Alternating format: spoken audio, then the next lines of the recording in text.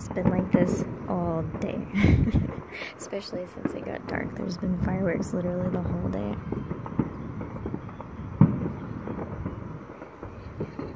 People in Hawaii like to shoot fireworks. There's lots of people in my neighborhood with the same idea to get out here on the sidewalk and see the fireworks from here. I can hear a big booming. I don't know if it's an echo or if there's fireworks elsewhere.